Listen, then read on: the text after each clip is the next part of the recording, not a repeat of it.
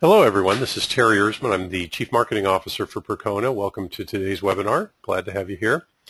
Um, before we get started, uh, a little housekeeping. Uh, first of all, if you can hear me, please raise your hand in the GoToWebinar control panel.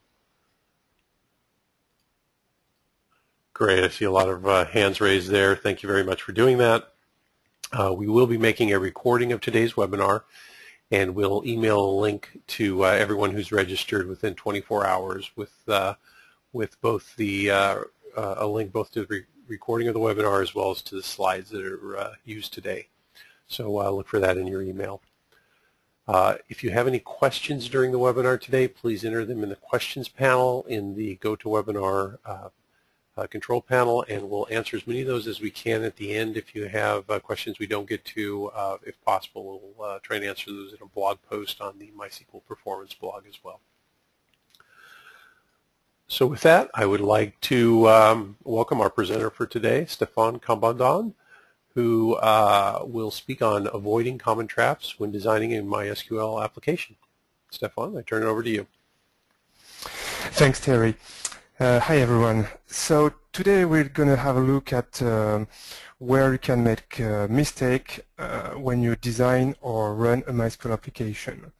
So the, the, the first topic of, of today will be um, architecture for scaling. So let's say you have an application and um, you're quite successful and you want your, your MySQL database to scale. What should you do? Um, some people may tell you, well, you must shard your, your database. And um, actually, that may not be the, the best thing to do. Um, sharding is really a good solution, but only if uh, a single server, so a single database server, is not able to handle um, the right the right workload. Okay, so um, if a single server is not able to, to handle the load, the right load, basically you have two solutions. The first one is to ask your customers uh, not use the application uh, so much, which of course is not very good. And the second one is to try to build um, independent clusters for your application, and this is sharding. But um, it adds a lot of complications. So if you can avoid it, usually it's much, much better. Um, and you have uh, many different ways to cope with uh, scaling. Uh, for instance, let's say you have an application where you have um, an e-commerce website and you have a forum. Both applications are clearly independent, so you can have one database server for the e-commerce website and another one for the forum. And um, you, this way you will be able to split the right load without sharding. So that's some, that's a technique we sometimes call functional partitioning, and it can be really, really efficient. And as you may know, um, for, for most people using MySQL, they're using it in the context of a web application. And for web application applications, um, the main goal is to be able to scale the reads. And to scale the reads, a really good solution is to use the native MySQL replication. Um, and what, one thing to, to know uh, about sharding is that not every application is easy to shard.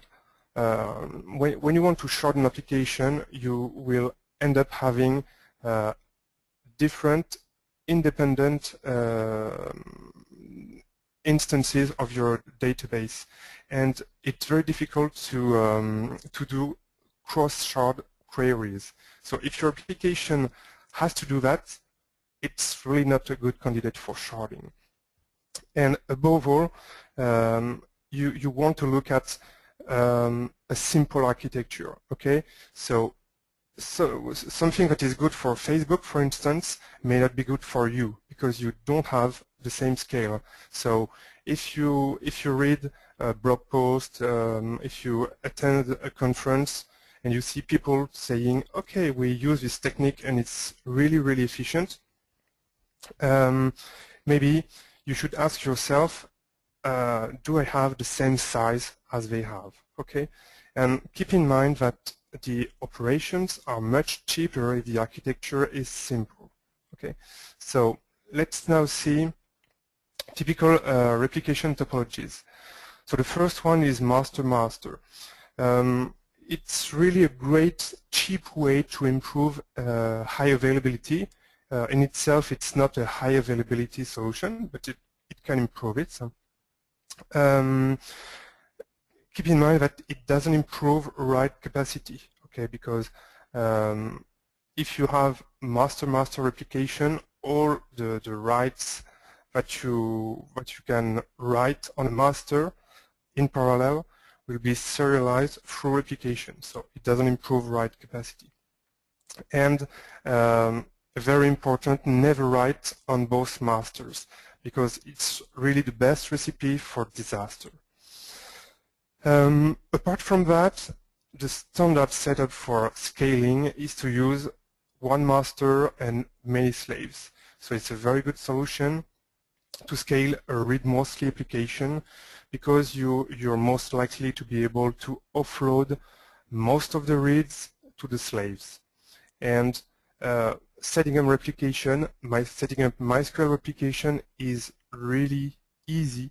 So it's it's really the, the, solution uh, that most people are using. But be aware that um, even with this standard and uh, simple setup, you can have some complications. Um, for instance, let's look at the, the, picture on the on the left side. So you have uh, your application, you're writing to the master, and um, you can read. Uh, you, you you you perform most of the reads on the slave, slave one or slave two, and then on the right, uh, the master crashes. So now you you're not able. Um, your application is not able to write to the database. So what do you want to do, you want to promote one of the slaves. Let's say you want to promote S1. If you do that, well, that's not enough because now your application is able to read and write to S1, but S2, um, it doesn't get any update from S1, okay, because S2 was configured as a slave from the master. So if you promote S1, you'll have to perform an extra step, which is set up replication from S1 to S2. So this is something to keep in mind because it's not impossible to do, but uh, if you have to do that at 3 a.m. or if you have to do that um, at peak time when you have high pressure, it, it, it's not that easy, okay? So to help you, you can try to rely on tools uh, to help you promote a slave and uh, reconfigure application. So a tool can be anything ranging from um, a well-documented procedure uh, with steps that you will execute manually to more automated tools like MHA or PRM. Um, it's really up to you to decide what is the best solution for you. Second topic, configuration. So here, um, really one of the most common mistake that uh, that is made is to keep the, the default my.cnf file. So you you probably know that um, until uh, MySQL 5.6, you had some sample files um, that were not very good. For instance, you have the myhuge.cnf uh, where you you, you can see that um, a good size for your uh, InnoDB buffer pool is 2 gigabytes. And of course, that may be a good size for your uh, laptop, but for your server, it's probably too, too small. So keeping the default my.cnf is really not so good. But in the opposite, if you spend uh, days or weeks to try to fine-tune every setting, uh, you will waste a lot of time because um, I don't remember exactly the number of settings that you have, but I think in 5.6 you have 350 per parameters, maybe 400. Of course, all of them are not useful for you. So you should spend some time on the most important one and we'll see um, in the next slide that only 5 to 10 uh, settings are really important and for the rest leave them as a default and if you have problems investigate and then you'll be able to adjust them to better uh, values. Um, another trap is to do Google tuning. So uh, you want to know what's the best configuration for um, for, for some setting. You uh, you search in Google and you find someone uh, who in 1999 uh, set the value to something. And of course, uh, something that was true in 1999 may not be true uh, today. So it's always difficult to to know if um, something that you find on, on the internet is really uh, relevant for you. Another common mistake um, is to try to, um, to, to, to, change the, the settings in an automated way. So for instance, I'm buying a new server, it's twice powerful as the, the older one, so I will double the value of all of my settings. Well, it it doesn't make sense. Uh, to, to, to, begin, uh, what does it mean twice powerful hardware? I don't know. And um, in, in, in, a more general um, way, bigger is not always better. So for some uh, settings, if, for instance, with memory, if you over allocate memory, uh, you can run into trouble. If you're running short of memory, you may crash your server, your MySQL server, or even your world server, and of course, it will be very bad. And finally, um, on configuration, one thing that sometimes uh, people or people do is to change 10 settings at a time. So they change their my.cnf, they change 10, 10 settings, they restart the server, they look at the performance, say, oh no, it's bad. But what was the problem? Was it setting 1, setting 8? We don't know. So we're back to step 1. So the, the, the best solution when you want to um, tune your configuration file is to change one setting at a time and to see if um, you, you can have some benefit from the change or not. And if um, if you do one of these um, if you make one of these mistakes, uh, you'll probably have performance problem, you'll probably have instability, your server may crash sometimes, whereas you, you don't know what, what is going on. And of course, it leads to uh, frustration. So um, what do you need to configure uh, in, in, for your for your MySQL server? Well, if you're using InnoDB, and I suppose you, you are using InnoDB, uh, there are only two very important settings. The first one is the size of the buffer pool. So the buffer pool is the main cache for data and indexes. And um, yeah, the basic rule is uh, it should be um, it should be large or very large. Okay, if you can fit all your data in memory, of course, uh, it's good. Okay, and the second important uh, setting is the size of the redo log, so the InnoDB log file size. Um, this setting is really important for write performance. So sometimes um, we have customers that have um, stalls in their uh, MySQL performance, and it's basically uh, due to um, the fact that, that their redo logs are too small and InnoDB is not able to cope with the write load. So sometimes it has to stall everything to um, clean up the situation and of course it's very bad for performance. So just increasing the size of the redo logs can make performance more stable. Um, a, a, third, a, third, setting that can be uh, nice to have, but really it's not mandatory. It's the InnoDB file per table. Um, it allows you to have a table space uh, per table instead of having one huge table space uh, that is shared by all the tables. Uh, it's really good because you can reclaim space when you drop or truncate a table. And um, you, if, if you have many small tables, um, it's usually easier to manage many small files uh, instead of one very big file that can be 800 gigabytes or so. Um, what else is, uh, is important?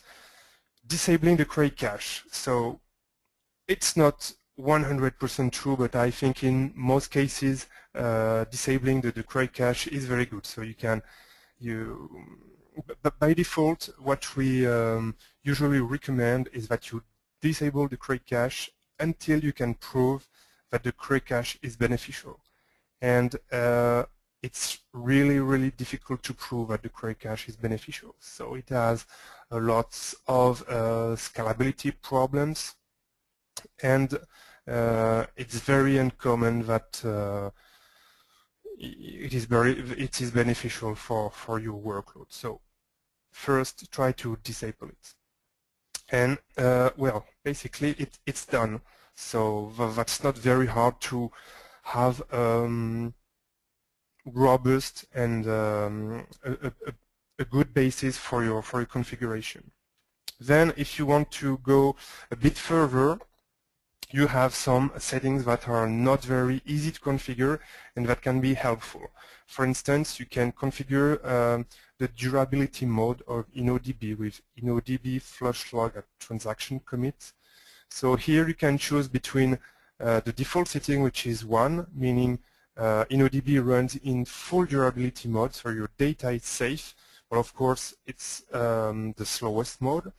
Or you can have settings like 0 or 2 uh, that means uh, that mean that, that um, InnoDB will run faster, but your data is not 100% safe. So of course the, the, the, right setting depends on um, what you prefer, safety of data safety or, or speed. Um, log is a very popular setting. So it um, it tells how to flush the, the bin log uh, to disk. So if you want the bin log to be uh, flushed at, at each commit, which is the, the safest value, use sync bin log equals 1. Um, if you don't mind, you can keep the default value, which is syncbinlog equals 0. Some other um, useful parameters that are very easy to configure, uh, the table cache, the thread cache, the max connections setting, and uh, skip name resolve, which is a setting um, allowing you to disable DNS lookups, which is always a good thing not to, to rely on, on DNS some other settings uh, should really not be configured. For instance, you have um, specialized buffers such as the sort buffer size, the join buffer size, the read random buffer size, etc.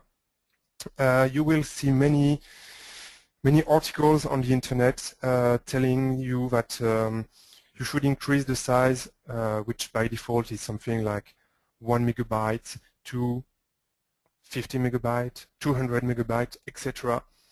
Please don't do it. It's it's really not a good idea. The, the first reason is um, because these buffers are per station buffer. So if you're very unlucky, um, if you have 1000 connection, each connection using uh, the maximum size of a buffer well, it can amount to tens of gigabytes of memory if the buffers are set uh, with a value that is too high. So it can exhaust your memory. It's bad. Okay, and the default value, uh, it's really good for nearly 100% of, of the applications. So if you don't know what you, what you're doing, don't don't change the value of these buffers. Uh, the same for some esoteric settings uh, that many people don't really know how to uh, how how what they control. And sometimes you can find uh, reference to uh, settings that are not used anymore, such as the master host or master user for uh, setting up replication in the my.cnf file. Or sometimes you have uh, settings like thread concurrency, uh, which looks like a useful setting, but it's only useful on Solaris, if I remember well. So if you don't use Solaris, well, don't spend time tuning a thread concurrency. Now, um, if you have master and slave, uh, what should you do with your configuration file? The basic idea is that if you have if you have the same hardware for master and slaves, the configuration should be the same or approximately the same. On, on the slaves, you can take some shortcuts uh, to uh, prefer performance over data safety. So for instance, you can disable uh, binary logging. You can have a relaxed InnoDB durability. Um, and you can set the read-only parameter uh, to avoid accidental writes. Okay, so it's not a 100% guarantee that uh, you won't have any writes, uh, direct write on, on the slave, but it's, it, it's quite good. Of course, if you want to promote a slave to become the new master, uh, don't forget to change the configuration to reflect that the slave is now a master. So it should have binary logging, etc., etc. Now let's look at um, the schema. So when you want to design your tables, um, you want to avoid a design uh, that will kill your performance. And um, we often see two designs that um, are not bad by, uh, per, per, se, but um, when they're misused, they, they, they lead to really bad performance. So the first one is the e-blob design uh, that is um, store everything in a blob column. So use MySQL as a NoSQL solution. You can do that for some specific part of your application, but if the, your, your whole application is designed um, with eBlob, well, it, it, it won't probably scale very well. And the same is true for uh, the EAV, the Entity Attribute Value design. It can be useful, but again, um, if you want to have millions of records and um, tens of thousands of reads per second, it may be difficult. Okay. And what about normalization? Is it a performance killer? Um, many people will tell you that normalization is really bad. Why? Because it increases the number of joins. And if you have uh, more joins, you will have more random operations. And um, I suppose you know that uh, um, hard drives are really bad at random operations. So if you if you normalize, you will have random operations, so your application will be slow. Okay, um, that's true, but it's only part of the picture, so that's true only for some specific spots um, in some applications, not every application. So now, um, normalization versus denormalization. What should we do? Um, what I suggest is to first try to normalize your schema and index it, index your, your columns correctly. It's very important to have good indexing when you're using a normalized schema because um, normalization relies on indexing to have good performance because of the random reads. Um, we'll talk about uh, indexes later, but uh, be, be, aware that indexes can do many things. Of course, they can filter, so they can be useful when you have a work condition. They can also sort, so they can be useful to solve order by an order by clause. And they can also cover a, query. A query.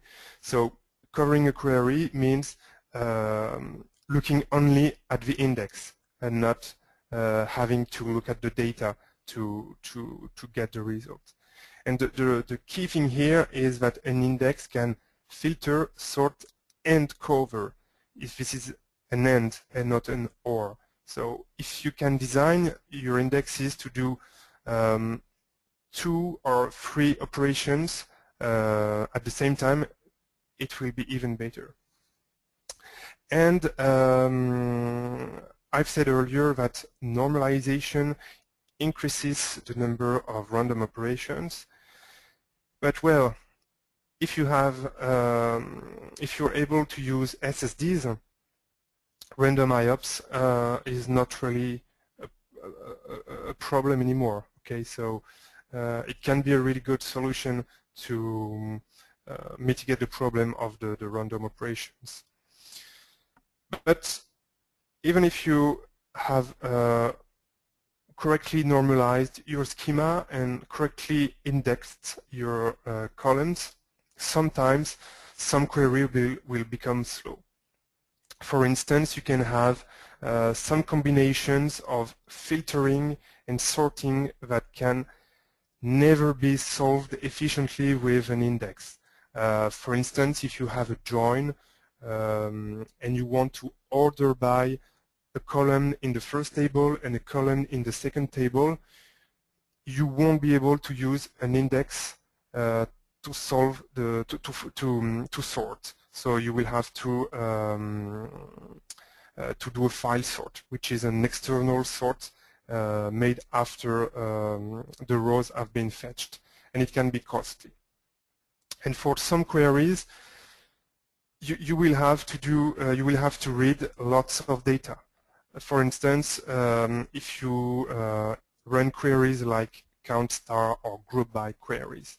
So in this case, denormalizing can be a good solution. So denormalizing, creating summary tables, etc., uh, etc. Some other useful tips when designing the structure of your table. Don't be too generous when sizing.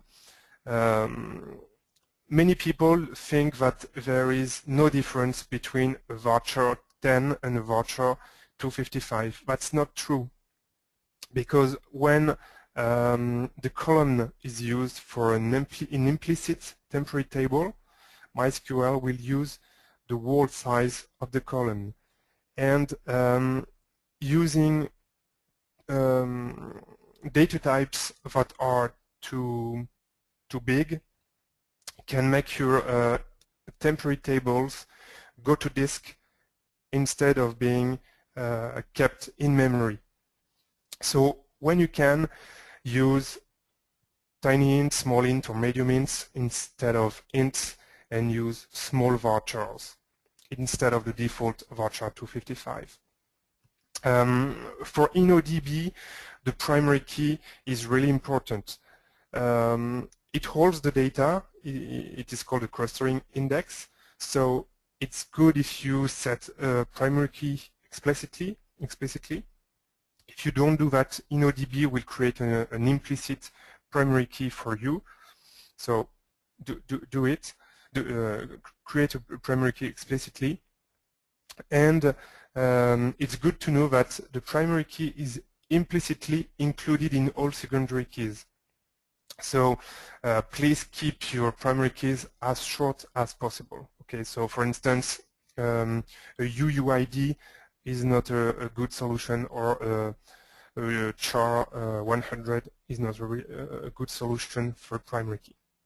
If you don't know what to use as a primary key for InnoDB, use an integer with an auto, an auto increment, and it's it's quite good. Let's now see um, a common problem that you you may you may face. Um, let's see we're running um, a social network and we want to design the user table for, um, for, for, our application. So to begin, we'll have um, an, identity, an, an, ID, the user ID, and we'll uh, create the login and the password, and that's it. Of course, over time, uh, you want you will want to add um, the phone number, the address, um, an email address, etc., etc., and the, some uh, preferences like uh, is admin, uh, is premium, etc., etc. So each time you will have to uh, run an alter table, and um, with the number of users increasing, it will be um, um, more and more difficult to run alter table. Uh, it will be slow, it will be difficult to run. And you will have fragmentation in your table, and your table will become grow, will become uh, very big. So all your queries against the table will be slow. What can you do?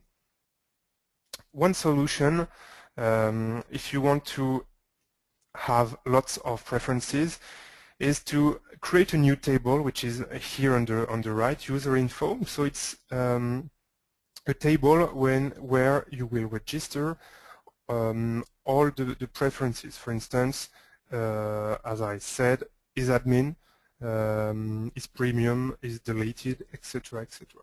And when you want to uh, to say that um, a user is active, you only have to uh, insert a row in the user has info table. So it's a standard many-to-many -many relationship. Um, and now the, um, the, the adding a property is really easy and it's very generic. So every time you want to add a property, you don't need to uh, run an alter table. Um, you don't need to write custom code. That's really great. So is it really such a good solution? Well, it, it has drawbacks. For instance, the user has info table will not scale well because we can um, suppose that every user will have maybe tens of preferences, so tens of rows in this table. And so um, the, the, the user table won't grow um, um, as quickly as before, but the user as info uh, will grow very, very quickly. So it's, it's a very simple table with only two integers, but if it has 1 billion rows, of course it will be grow. It will be, it will be big. Um, and some queries are really difficult to write efficiently with this design. For instance, if you want to have the list of the users not having the property X, well, it's not, it's not really easy to do. So in this situation, um, the, the, the, correct uh, solution is probably in the middle. So um, some of the properties can, sorry, can go to the user table. Some properties can go to the user info table using the design uh, I presented earlier. And sometimes for over uh, columns or preferences, you will need to uh, create dedicated tables. And of course, as your application grows, you will have um, hotspots for, for some tables. So we have to deal, you will have to deal with such situation and you, you will have to create something that is very specific for your application. Um, next topic, the queries. It is very common to um, to to have customers that say, "Oh, um, we have uh, queries that are slow, but um, yeah, what can we what can we do? We're uh, thinking of uh, changing the hardware, buying more RAM. Is it the best solution? Well, it can be a good solution, but it's not always uh, the best one. First, um, the cost. Uh, sometimes adding RAM can be very expensive, or buying SSD, it can be very expensive sometimes you're hitting the physical limit of your hardware. If you're limited to uh, 192 gigabytes of RAM and you already have 192 gigabytes of RAM in your machine, well, you you'll have to to change the machine, and it's it's much more complicated. Sometimes, um, if you buy more powerful hardware, um, you will discover contentions in MySQL. So um, the benefit of having better hardware is very limited.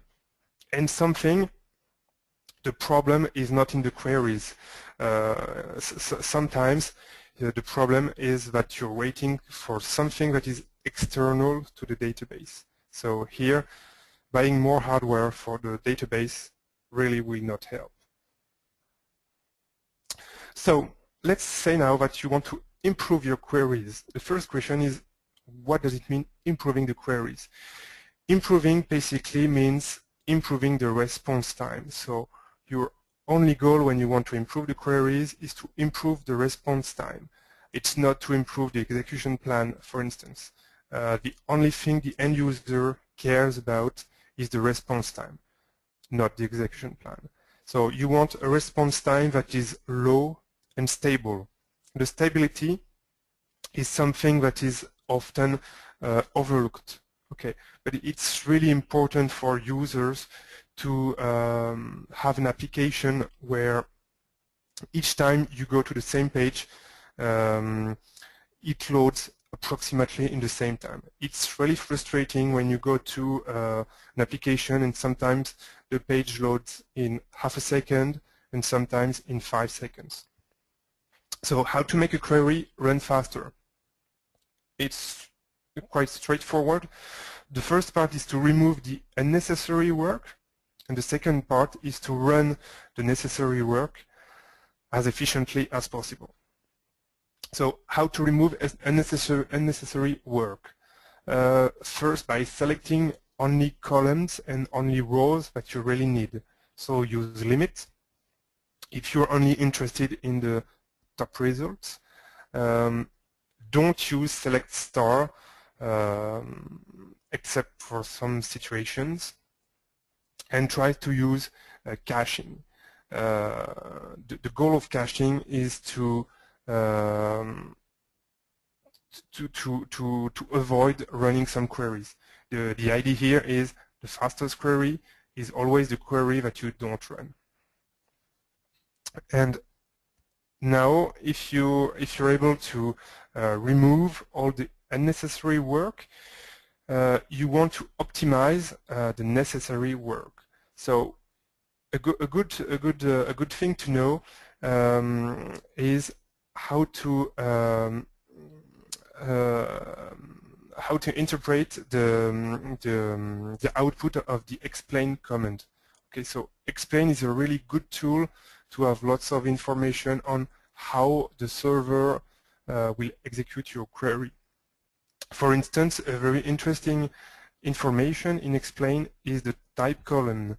Um, it, it shows you how MySQL um, will access data and not all access types are equal. For instance, if you see index or all, meaning that you will have an index scan a full index scan or a full table scan, it's probably very bad. Uh, some index are missing. Sometimes the right solution is to rewrite the queries. Uh, it's it's uh, it's very well known that um, subqueries may perform very badly in MySQL. So sometimes rewriting a subquery to uh, join uh, can be very beneficial. The situation is much better in MySQL 5.6 and in the new versions of uh, MariaDB, for instance.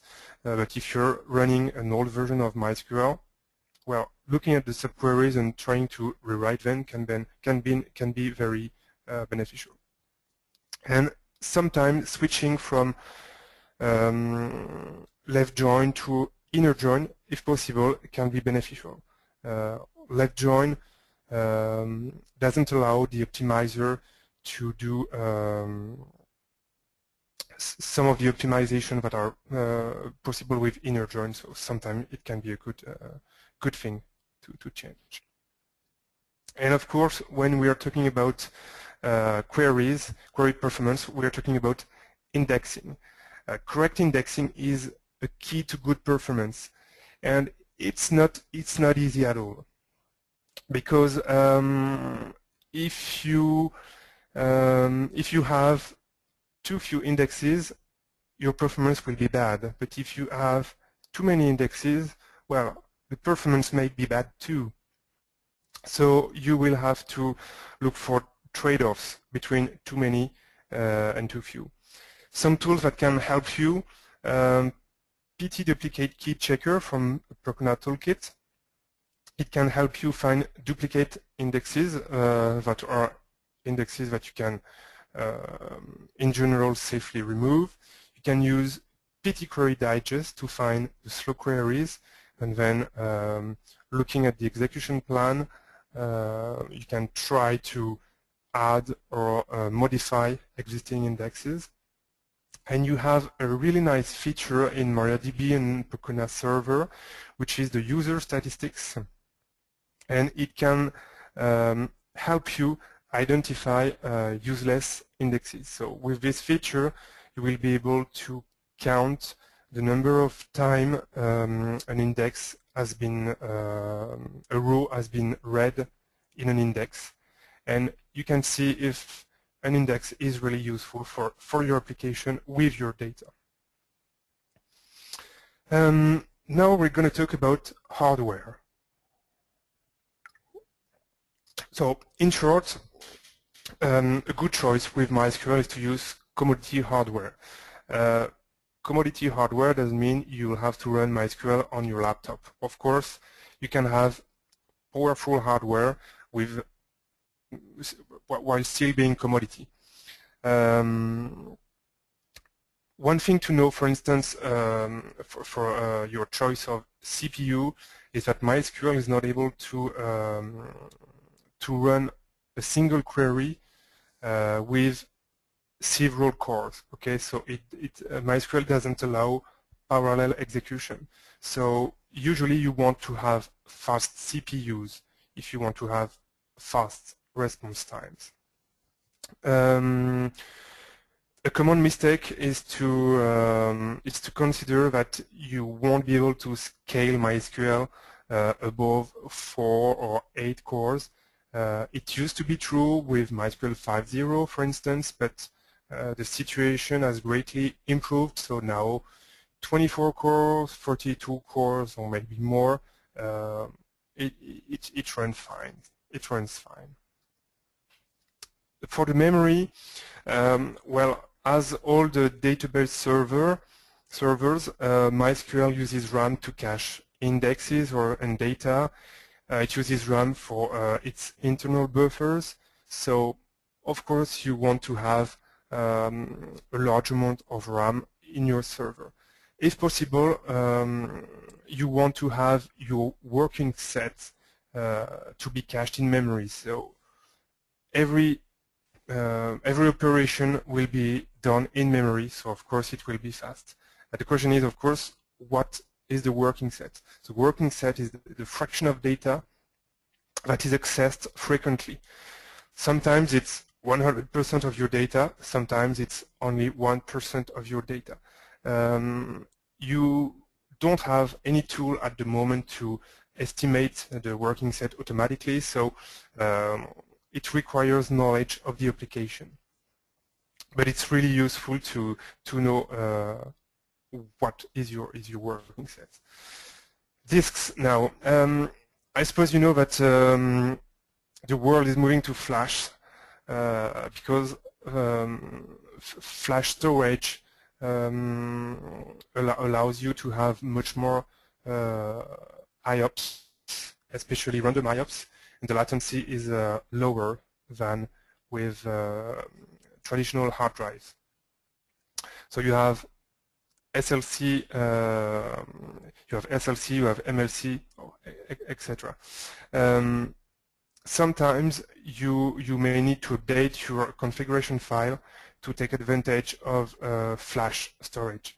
Um, because of course MySQL uh, was developed at a time when uh, Flash didn't exist. So by default, sometimes uh, some settings are set considering that, of course, you you have a traditional hard drive, and if you have Flash, you you you should um, change some of the of the settings. So it's it's possible um, with Percona server and MariaDB. Um, with MySQL until 5.5 it was quite difficult, but with 5.6 uh, it's it's it's really being uh, much better. So a deeper look into flash technologies. So you have SSDs and you have the PCIe, PCIe devices. So the, the, the, the, the SSDs are really drop-in replacements uh, for HDDs. So it's really easy to use. Um, you will need um, to use RAID probably, like you're using for your uh, hard drives. If you're using uh, PCIe devices like um, Fusion IO, etc., uh, the performance will be even better, um, but of course the, the cost is um, is even bigger, and um, it, it, can be a bit more difficult to um, to run at the beginning. Um, let's let's now see uh, how you can mix uh, flash and hard drives. Sometimes a good configuration is to have flash for hot data and uh, traditional hard drives for archives. So flash for uh, low latency, uh, high number of IOPS of IOPS, and traditional hard drives for uh, capacity storage. Sometimes you want to have uh, flash for data files and uh, traditional hard drives for the redo log, the InnoDB redo logs, because with the redo logs, you're only performing sequential writes, and traditional hard drives are really good at uh, sequential writes. No need to use flash there. Um, should you prefer uh, more RAM or um, or flash? Well, uh, very often more RAM is the best solution, but sometimes it's not. For instance, if the amount of RAM uh, you can add is limited, of course, and uh, if you have a high throughput uh, write load, because the, the, the um, having more RAM will delay the writes to the disks, but of course you won't be able to delay the writes forever. So you want the writes to be run as fast as possible, and SSDs will be good at it. Um, now, hardware for master and slaves. Some things to keep in mind. If you if you have a slave, um, the, the, the, replication is the replication thread. Uh, replication is, is, single threaded, so um, a slave must be able to keep up with the master, the write, write load, and it should be um, it, it should be powerful. Okay, and if you promote a slave, it should be at least as powerful as the master. So one common choice is to have the same hardware for the master and for every slave. And sometimes um, when the slaves are, are not really loaded, you can use new hardware for the master and um, the master's old hardware for the slave. And sometimes uh, you want to use flash for the slaves to fight replication lag and you will use the same configuration except that you will have uh, traditional hard drives for, for the master. Um, backup and recovery.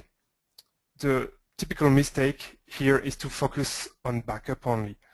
If you have a backup but you don't know how to restore it, it's useless. So you want to focus on how to restore your backup and not how to backup. And you have different needs. When you want to backup, you want you want it to be low impact because you're doing um, on the production machines. And if possible, it should be quick, but it's not necessary. When you want to restore your database, your your backup, uh, you want it to be quick. If possible, uh, it should be low impact, but it's, it's, not a problem. If your application is down and you want to restore a backup, well, the, the, the, the main requirement is that it's quick. No problem if that if um, it uses 100% of your CPU or, or 100% of your uh, I.O. capacity. So now, um, to, to, have a good idea of the tool that you can use, you should uh, you should know which uh, which goal you have in terms of RPO and RTO. So the, the, the RPO is the recovery point objective. That is to say, how much data can you lose? And the RTO is the recovery time objective, which means how much downtime can you afford. And the, the, the more relaxed the RPO and RTO are, uh, the more options to choose your tool you, you will have. Basically, when you want to choose how to make a backup, you will have to uh, choose between a logical backup, um, where you will end up with a text file, um, which is very flexible, but which has the, the, the major drawback of, of being very, uh, very slow to restore. Or you can have a raw backup, which um, which basically consists in having uh, the binary files. Um, the, the, the, good thing with the raw backups is that restoring uh, the raw backup is very fast. It's something like uh, copy the files to the, the MySQL data and start the server and, and, it's done. But the problem is that uh, it's not obvious to do some operations like uh, restoring a single table or a single database. And of course, as it is um, a backup with binary files, you can have a corrupted backup uh, without knowing it. Um, a few tools, MySQL dump, of course. So for small databases, it's very good because um, it's very flexible, the backups are fast, and the restores are not too slow. If you have a 10 gigabytes, uh, 10 gigabyte database, uh, maybe uh, a, few, minutes uh, is, is, the time we need to, to restore. It, it's good. For larger databases, it's not usable because uh, very quickly the restore time will be one hour, four hours, one day, etc., and it's not acceptable. If you want to have um, an improved, kind of improved MySQL dump, you can have a look at MyDumper, um, which is um, a multi-threaded replacement for MySQL dump. Interesting project. If you want to uh, perform raw backups, um, XtraBackup from Percona is probably one of the best um, solution. So it has uh, an impressive list of uh, features, but I and I, I, won't go into the, the, details here because we're we're running uh, short of time. But it, it's really a, a, very good solution. Um, last topic for today: instrumentation and monitoring. What what you what you want in your um, in your system is to have both a monitoring and alerting system and a graphing and trending system. So with the uh, monitoring and alerting system, you will be warned when uh, something is wrong. So for instance, this is done with uh, Nagios or Zabbix. And when um, something has gone wrong, you want to have a trending solution uh, to identify why things uh, have gone so bad. So sometimes by looking at trends, you can see that, oh, your uh, CPU utilization is growing uh, by 10% per month. Of course, uh, in the next few months, you will have a problem. Okay, so when using a graphing solution, try to graph uh, everything you can to be able to see trends and to diagnose uh, the problems uh, as easily as possible. Inside MySQL, uh, you don't have as much instrumentation as you would need, but it's it's really improving. Um, uh, specifically with the, the performance schema, which is uh, which was new to MySQL 5.5 and really improved in MySQL 5.6. And of course, uh, you can use instrumentation uh, from your operating system. So, for instance, if you're on a, on a Linux or Unix, uh, so you, you can use uh, tools like VMstat, IOstat, Top, etc. Some other good tools are InnoTop or some tools from the, the Percona toolkit like uh, PT disk stats uh, that can give you some insight to um, in, of your uh, uh, I/O utilization. It's really good to know how to use uh, some of the tools to have real-time diagnostics. Um, I think I'm done. So before um, going to the, the, question and answer, I will uh, remind you that um, in April we'll be running uh, um, the big MySQL uh, conference in Santa Clara, California, and it's a really good opportunity to meet the community and attend a, a real, um, really good session. So we, I, I encourage you to visit our website and and register if you can if you can be there. So um, now, Terry, uh, turn it over to you for the, the, questions. Okay, very good. Thank you for uh, for the presentation. Uh, again, if uh, if anyone has a question, please submit them through the questions panel in the GoToWebinar control panel. Uh, so the first question we have is, uh, can you configure an auto failover for promoting the slave and then making S2 a slave of S1? Um, Yes, you, you, you can have, um, you can use a solution, for instance, like uh, PRM, um, which will automate um, the promotion of a slave. The key question here is to know um, if it's really beneficial. Um, for instance, if you have one master and two slaves, you probably you will probably have um, a crash of the master maybe once a year and it's not easy to, uh, to say if having an automated failover solution will be beneficial.